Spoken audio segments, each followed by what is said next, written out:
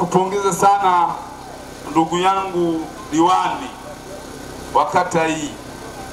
Sisi wakati tunatengeneza uteuzi, timu tulizoziteua ambaye akiwemo ndugu yangu bwana Ramadhani Kambuga, tuli, tuliona Kashai ni mtu gani anaweza akafaa hapa, anaitwa Ramadhani Kambuka, Lakini bila kuficha, hapa Kashai umeitendea haki.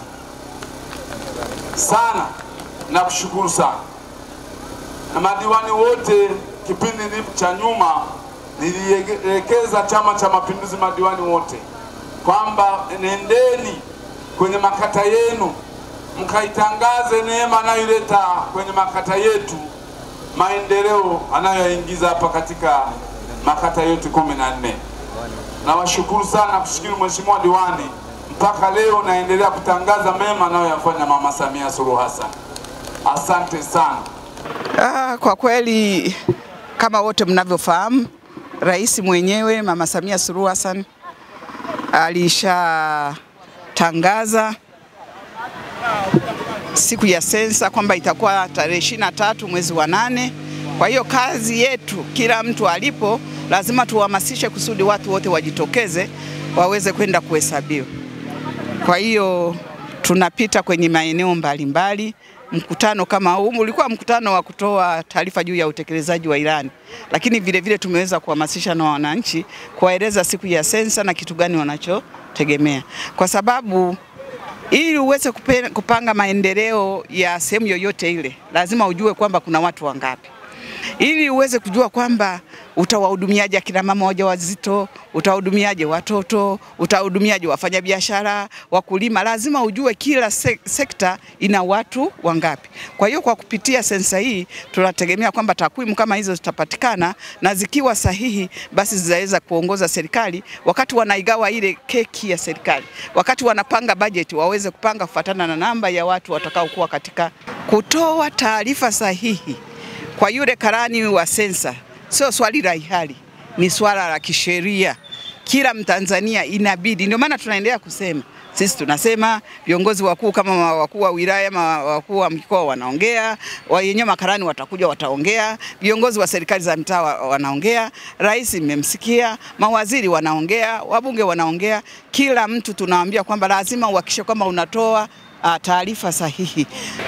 Mimi naitwa Ramadhani Rashid Kambuga, diwani wa kata ya Kashai. Uh, mkutano wa leo ulikuwa na shughuli mbili. Shughuli ya kwanza ilikuwa ni kuhamasisha sensa ya makazi na watu, lakini shughuli ya pili ilikuwa ni kutangaza mazuri ambayo Mheshimiwa Rais Mama Samia Suluhu Hassan ametufanyia Watanzania hasa wanakashai na ni kama, ni, inasema ni, ni katika utekelezaji wa ilani ya uchaguzi ya Chama cha Mapinduzi. Kwa hali hiyo kama mlivyoona watu walikuwa ni wengi, tumefurahi sana, tunashukuru sana watu ambao wamehudhuria, na utakumbuka mwaka 2012 sensa iliyopita ile manispaa ya Bukoba tulipata takriban milioni mia sita. Ziko manispaa au halmashauri zilipata bilioni moja, bilioni mpaka bilioni tatu. Kwa nini? Watu wao walikubali kuhesabiwa. Kwa hiyo unapokuwa na watu wachache ambao wamehesabiwa, wengi wakawa wamekataa kuhesabiwa, unapunguza takwa la serikali, hamtopata uh, kwa mfano huduma kama za afya, kwa sababu watu jua serikali kwamba mnahitaji kiasi gani kujenga mahospitali au vituo vya afya au mashule. Kwa hiyo kutohesabiwa au kutokubali kuhesabika ni kujichelewesha maendeleo wewe mwenyewe. Kwa lengo la Mheshimiwa Rais ni jema, anataka kujua Watanzania tuko wangapi. Wakati anazungumzia maendeleo, lazima ajue figi Watanzania wako wangapi. Kwa kama wanakashari, nimeona nichukue nafasi hii nilisema mkutano mkubwa sana wa hadhara, ameuona ulikuwa ni mkutano mkubwa sana kuzungumzia mambo mawili, sensa ya makazi na watu, lakini pili kuhusu maendeleo. Kuhusu maendeleo Ende pia kumshukuru Mheshimiwa mbunge wa jimbo la Bukoba mjini Advocate Bebato na mbunge wa viti maalum Mama Mshashu, mstahiki meya wetu Rumanyika, baraza la madiwani na Chama cha Mapinduzi kwa ujumla. Lakini mwenye fedha hizi ni Mheshimiwa Rais wa Jamhuri ya Muungano wa Tanzania Mama Samia Suluhu Hassan. Mtazamaji wa Kasibante Media popote pale ulipo, tumemaliza tumemaliza mkutano wa Mheshimiwa diwani wa Kashai Bwana Ramadhan Kambuga, ambao mkutano huu umehudhuriwa na viongozi wa Chama cha Mapinduzi pamoja na viongozi wa serikali. Ambapo katika mkutano huu mgeni rasmi alikuwa ni mwenyekiti wa Chama cha Mapinduzi Bwana Joas Mganyizi.